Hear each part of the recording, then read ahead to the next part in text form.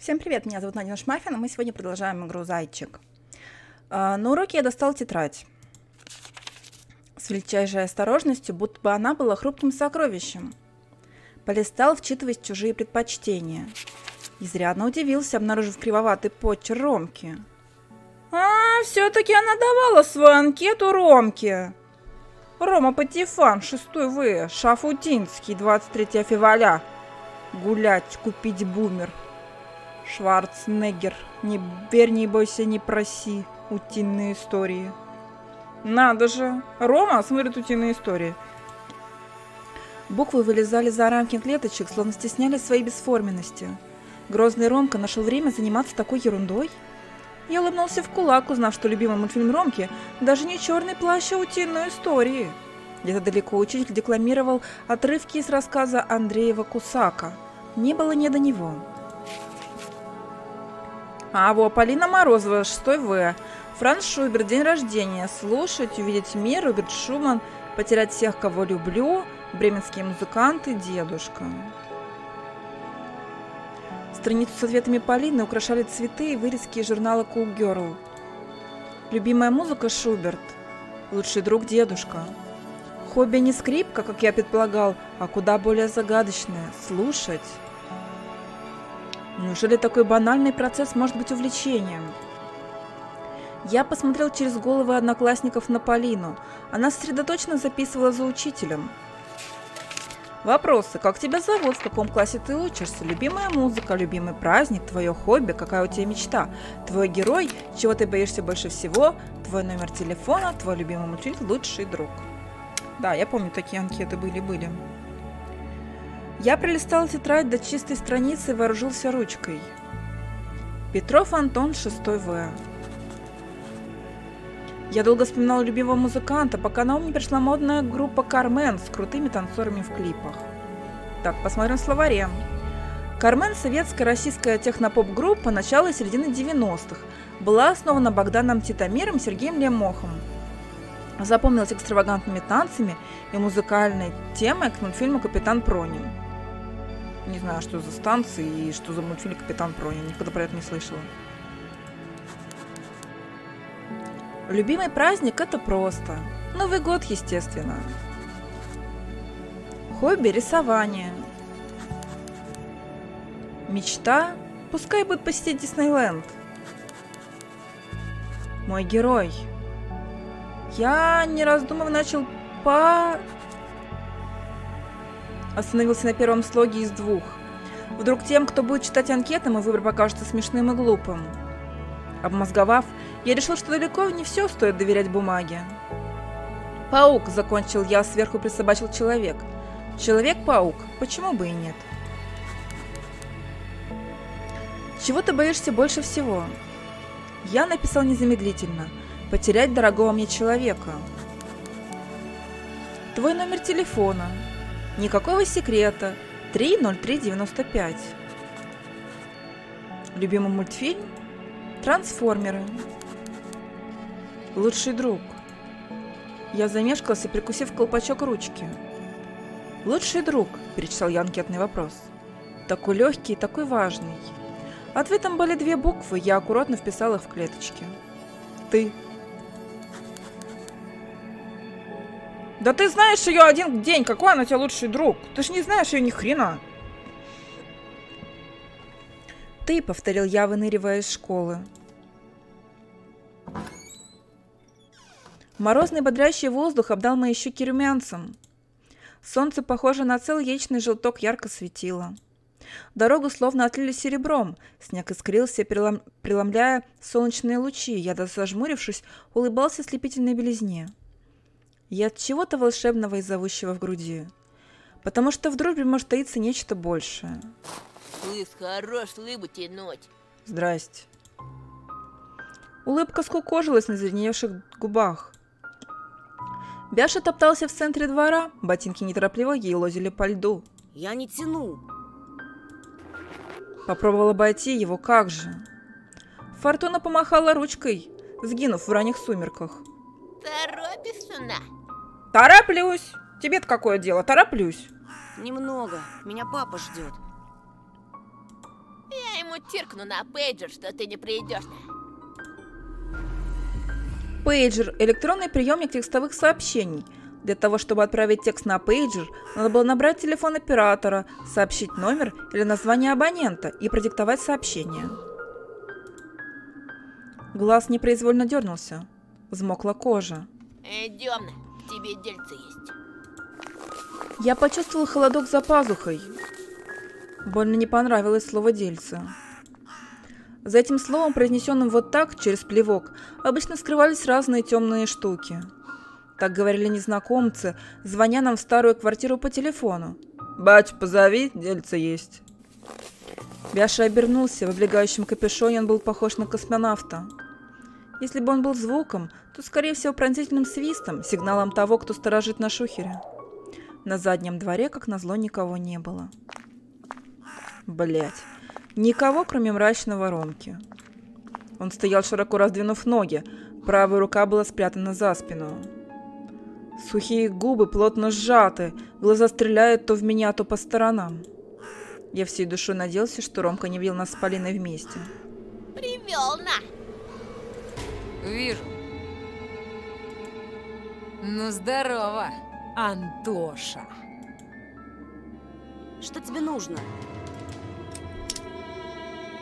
Он медленно извлек из-за спины узкое хищно-блестящее лезвие. Нож стальная бабочка смерти, летящая на стук сердца. Я инстинктивно отпрянул и врезался в Бяшу. Ромкина шестерка подтолкнула меня обратно. А мы с Бешей хотели узнать. Ты не держишь на нас обиду? Ромка принялся ковырять желтый ноготь, с коварной усмешкой уставившись на меня. Ну, там, в лесу. Мы были немного грубы с тобой. Сам понимаешь, такое у нас воспитание. Ебать ты жуткий. Да, до вас, городских, далеко. Вот порой нас и заносит. Я кивнул, глядя на нож. Скажи, Антоша, я тебя в последний раз не сильно огрел? Три дня отойти не мог. Да нет, Ну и славно. А то я затревожился, что память тебе отбил. И ты запамятовал, о чем мы втолковывали. помню. Лезвие переливалось в закатном свете, и также зло переливались за- зрачки Ромки. «Не тыкай в меня ножом!» Он шагнул ко мне. Поводил ножом в сантиметре от куртки. Одно движение, и сталь спорит ткань, а если надавить глубже... Нам одна птичка напела. Ты опять возле Полины отирался? Страшно было так, что я не сразу понял, кто такая Полина. Мозг сбоил, колени тряслись. Вдруг позади Ромки неспешной походкой пришла наша староста. Ну, кто еще мог это сделать? Шапка у тебя, кстати, дурацкая. Смотрю, мальчики, вы нашли общий язык. Да-да-да. За мной должок, Катька. Ой, не благодари, Ромочка. Я всегда на страже настоящей любви.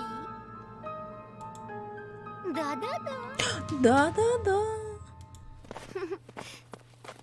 Клянусь, я убью тебя. Так, я не слышу. Ты к Полине подходил или нет? Мы так болтали. Сейчас анкету ее найдет. Болтать будешь кишками, когда я тебе брюхо вскрою. С такой посадят. Лезвие плашмя прошлось по моему рукаву вверх и достало до воротника. Ветер растужал лицо, но струйка пота, слете... но струйка пота стекала по виску. Наверное, мне надо объяснить так, чтобы ты понял. Ёптыть. Рукояти и клинок завертелись в опасной пле- пляске, как лопасти вертолета, смет- сметавшие все на своем пути. Ой, блядь. Я попытался вернуться, но, сделав шаг назад, подскользнулся и грохнулся на пятую точку. Амулет Полины будто того и ждал. Бросился из-под воротника навстречу острию ножа.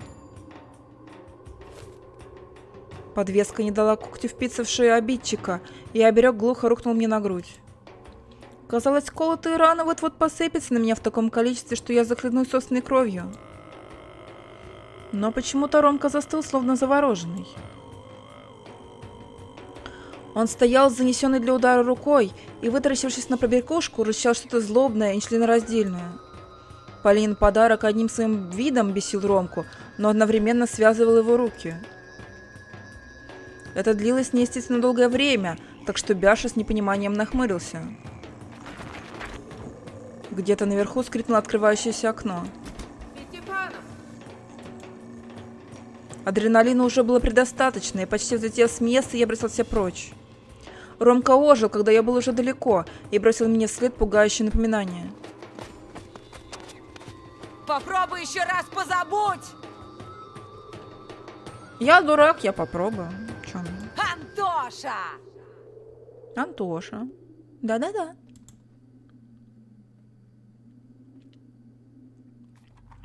Во рту стоял привкус гадкой воды, которую я запил в лекарство. Все мысли занимала только Полина. В общем, Да, я сегодня ага, книжку читала, там ребята учились в Ага, школе, прям ага, как да. ты ходишь в школу, и они в школу ходили. Да-да. Вот. И у них был какой-то праздник, и они там поделки лепили и делали все своими руками. Нужно было сначала принести природные материалы, листики всякие там, потом еще интересно. И потом они все это разбирали и клеили на бумагу. И друг другу дарили, открытки делали там всякие, и ящички, в которые потом подарки нужно Я бродил по дому, будто И пьяный, поддакивал сестре, было. толком не А разбирая, о чем она говорит. из дома принесла елочные игрушки. Ну, старые игрушки, которые уже никому не нужны были. Оля же толдычила без перебоя, то и дело вскидывая руки и а смеясь, как вдруг так же резко смолкла и уставилась на меня до боли знакомым колючим маминым взглядом. А? Меня буквально выдернуло из темницы разума, где ло- клокочущие мысли, подобно гарпиям, обрушились на мой искусственный мозг, не давая вернуться в реальность. Я уставился на сестру. Сейчас она была миниатюрной копией мамы. Точнее, тем, в кого она превратилась с момента переезда сюда, с ее грозной позой в виде заглавной буквы «Ф» и вздернутой к потолку бровями. Ты меня не слушал? Сейчас меня Оля зарежет за то, что я ее не слушал. Дурацкая у тебя там была книжка на самом деле, про то, как они в школу шли и еще какие-то поделки там делали. Сильно надо это слушать тоже мне. Она обрызнула ядом в мою сторону, копируя мимику и интонации чуть ли не единственного человека, с кем проводила все свое свободное время. Ну так она маленькая, с кого еще копировать поведение? Только с мамой, а мама вон какая постоянно злая. На мгновение мне показалось, что свет, излучаемый Олей за все эти годы, стал слабее и опасно затрепыхался на ветру затянувшихся перемен. Еще немного, и моя прекрасная принцесса станет драконом, который сторожил ее в башне. А это пугало сильнее подкрадывающихся ко мне ужасов из будущего. Оля, прости. Ты же не сердишься, правда? Я просто задумался. Взгляд заметался по комнате, как загнанный в ловушку зверь, перескакивая с одного предмета на другой, селясь найти хоть что-нибудь, что могло отвлечь Олю. А давай в приставку поиграем. Сейчас эта приставка и стукнет. Оля нахохлилась, однако искорка интереса вспыхнула в изумрудных глазках. И ледяной осколок, занесенный снежной королевой, начал потихоньку оттаивать. А как же второй джойстик? Не работает же. Ну, поиграем. Ты за левую часть, я за правую. Нормально все будет. А папе починить некогда. Давай сами подчиним. Ты же читала книжку про то, как там дети что-то в школу принесли.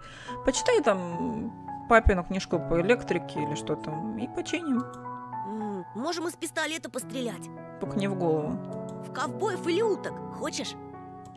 Ты лучше меня играешь.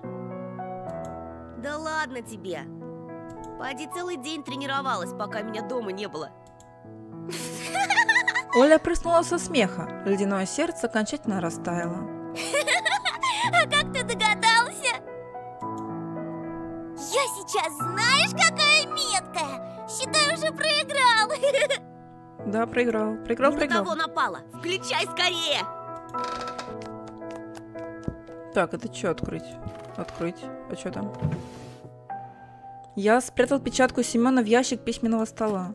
А, только есть он совсем спиздил эту печатку. Я думала, типа, его э, мент застукал. И он обратно положил, а он ее с собой забрал. Ну и дурак. Улики такие. Хотя сам до конца так и не понял, поступил ли я правильно, украв у милиционера важную улику. Наконец я перебрался в комнату сестры. Мне кажется, это плохо кончится, если он спрятал эту улику. Нехорошо это. Малютка подскочила к телевизору и, щелкнув питанием, начала вслепую шарить по задней стенке фотона, явно пытаясь воткнуть кабель от приставки в гнездо антенны. Отрывки из телепередач маячили на ламповом экране, пока Оля листала до канала, где ловила заветная Дэнди. Дэнди – игровая приставка, распространенная в республиках бывшего СССР. Неофициальный аппаратный клон консоли третьего поколения Famicom или NES японской компании Nintendo. Famicom или NES никогда официально не продавались в России в 90-х, поэтому китайская подделка Дэнди, которая была широко распространена по доступной цене, снискала большую популярность. Что дома интересного происходило?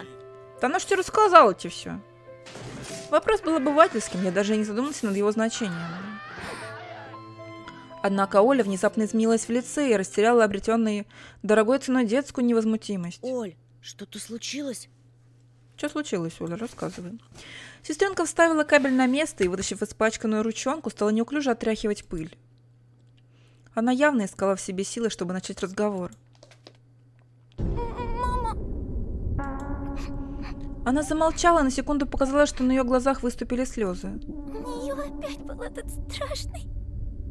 Кто? Дядя? Оля взглянула на меня мокрыми глазенками-блюдцами. Приступ. А, приступ. Такое случалось и раньше, но довольно редко. А когда мы перебрались в этом богом забытый край, мамины приступы пугающе участились. Папа принес большую рыбу. Идите. Ну, в газету была завернута и пахло так. А мама опять начала злиться. Потом взяла нож. Оля поежилась и с опаской выглянув в окно. Они начали громко ругаться. Я замер, представляя, как сестренка, такая маленькая и незаметная, стояла посреди кухонного проема. Она даже не пыталась спрятаться, родители попросту ее не замечали. Кого, рыбу? Вот так. Оля едва дернула кулачком сверху вниз, имитируя удар. Рыбу. Рыбу. Она была живая тут. Ей было больно. А. Мама... Мне было легко представить, что было дальше. Извивающаяся рыба с вокнутыми в жабры клинком брызнула зловонной слизью на мамино лицо. Если смерть приближалась так близко к маме, как в тот день, когда при нас человека сбило автобусом, и кровь размазалась по лобовому стеклу. Или когда бабушка отрубила голову цыпленку, мама всегда впадала в странный, пугающий до дрожи приступ. Ёптить, это эпилепсия у нее, что ли?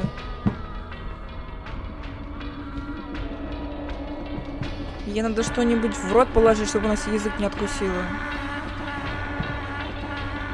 Ее глаза закатывались, она падала навзничь, как спиленное дерево, извивалась, как та самая бившаяся в агонии рыба, переворачивая стулья, выплевывая обрывки пугающих фраз. Папа, он ей помог? Оля вздрогнула, как будто бы воспоминания ранили ее.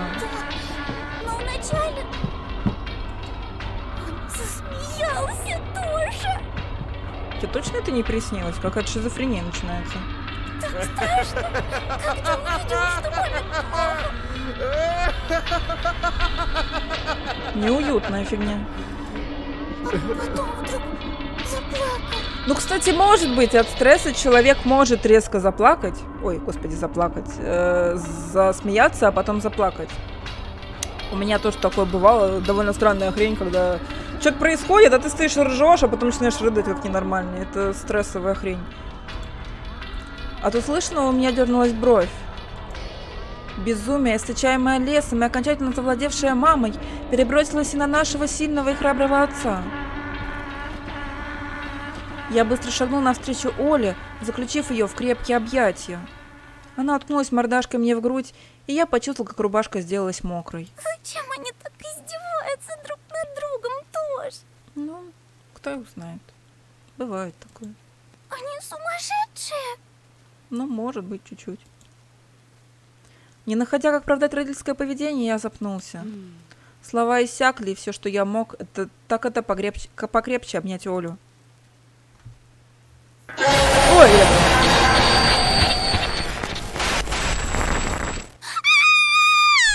Вы издеваетесь? Пугать таким? Ну, это был ре- реально хороший скример. Хороший скример, да. Оля в ужасе вскрикнула и спряталась за меня. Сколько бы раз она не видела эту заставку, все время реагировала одинаково, как и при виде совы. У меня самого выступали мурашки при появлении этого призрачного лица, поэтому моментально вспомнил пожелания сестры. Вид – логотип телекомпании, представляющий керамическую голову древнекитайского философа Го Сяна с трехлапой жабой на голове. Символ ужаса детей России 90-х. Играть? Давай играть.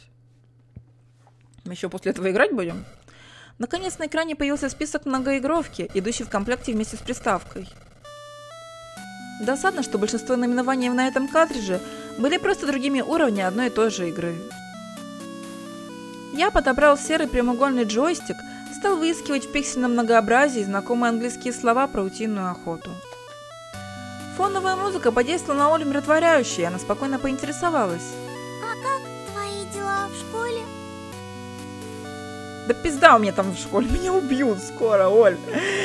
Ты это, не переживай, когда меня хоронить будут, это, это меня главное словечко там замолвишь, что я хороший был. Я с одной девочкой подружился.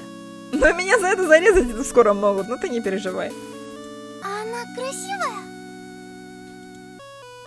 Я смутился. Ну, я не знаю. Да правду скажи уж, чё. Ха, ты засмущался. Значит, очень красивая. Оль, ты еще маленькая, куда ты лезешь? Перестань, Оль. Все тебе интересно. Сиди дома, книжки читай. Влюбился, влюбился. Ой, блин.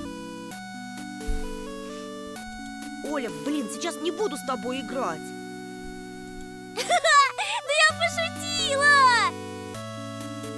ты нас познакомишь? Ну, может быть. А как ее зовут? Полина. А ты покраснел. А где вы будете жить, когда поженитесь? Ёб твою мать, не вопросы у тебя, конечно, прям сходу. Мы будем играть или нет? Я вставил световой пистолет в гнездо от второго джойстика под смешок сестры. Давай. А что, играть прям надо? Прям играть? А как играть? Я не знаю как.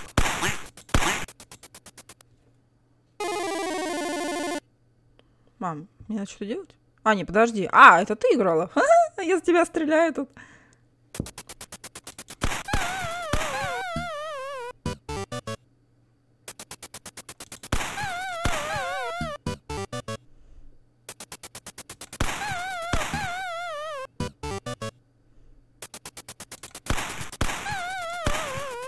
Ах ты гадина! Считай, это я тебе поддалась. Ладно.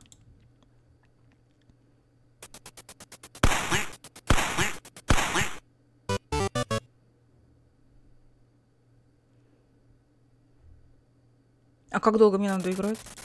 Ёбаный свет. И тетя они, конечно, залетали.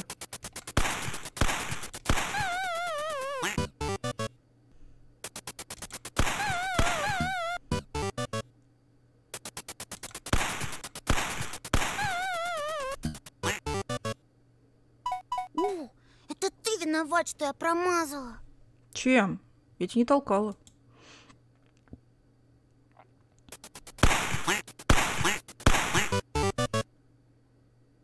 А чё это она? Ей только... Ей только три выстрела, а мне что-то до хрена.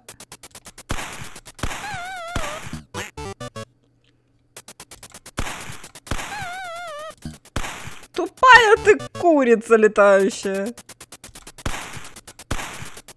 Да ёб твою мать, промазала.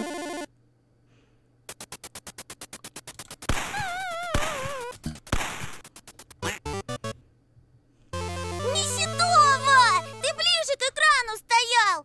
Я с тобой так больше не играю! Мне вышло достижение, что я бяка. Я не знаю, почему я бяка. Я так же не попадала, как она. Чё я? Антон! Мама докричалась до меня только с третьего раза. Антон, тебя к телефону! Да ёб твою мать, кому я нужен? Девушка какая-то? Да ёб твою мать, Полина меня сейчас спалит перед всем домом. Моментально протрезвев, я метнулся в коридор. Не споткнись, смотри. Не споткнусь. Я схватил трубку, прижал к груди, многозначительно глядя на маму. Она лишь пожала плечами и удалилась в комнату, на ходу собирая разбросанные Оле игрушки. Алло? У твоей мамы такой молодой голос. Тетя, тебе все надо. Че звонишь? А, ну да. Она сама молодая. Че хочешь? Че тебе надо? Не мешаю? Не мешаешь, меня зарежут за тебя. Нет, что ты.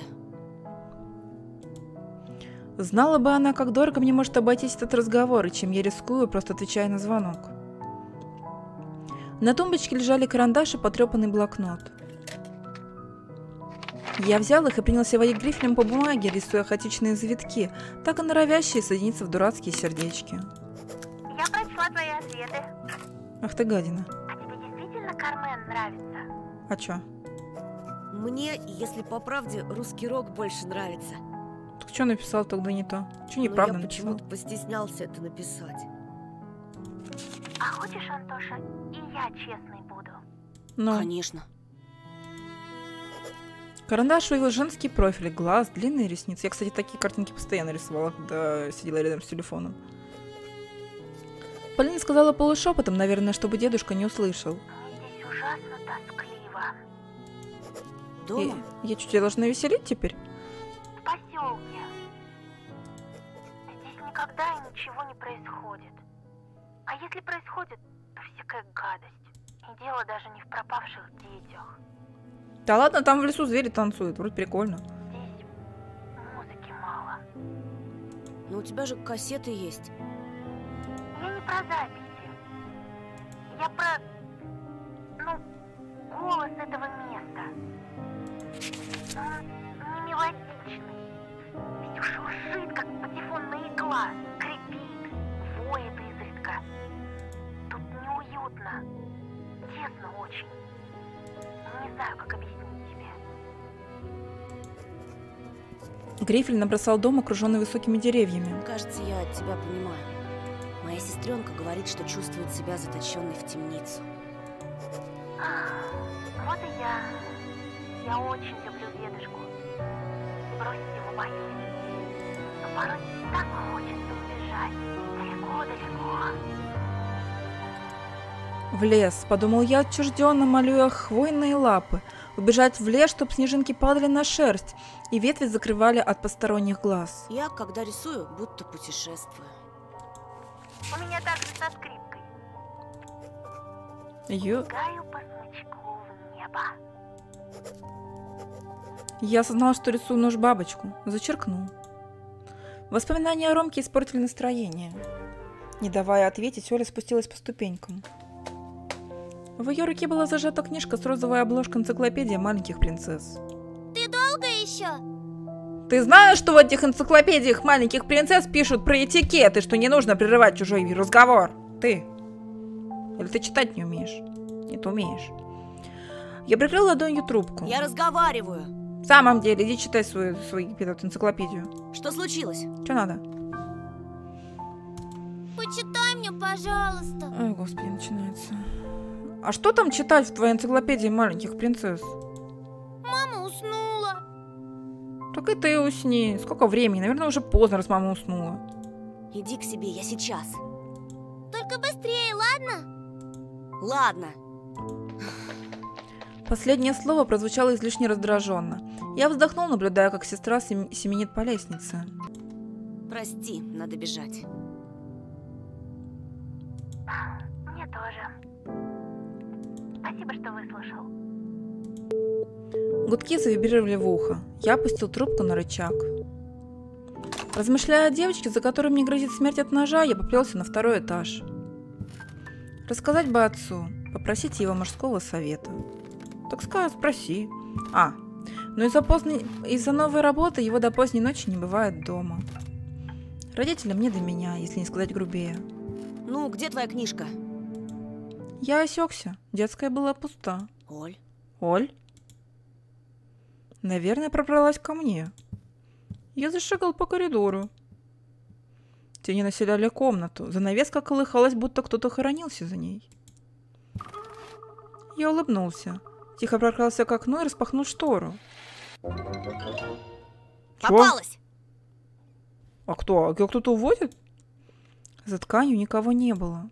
Окно, как экран телевизора, показывало зимний пейзаж. Фонарь, поле и в самом его центре предыдущие фигурки. Алиса и Оля. Алису вела, вела Олю?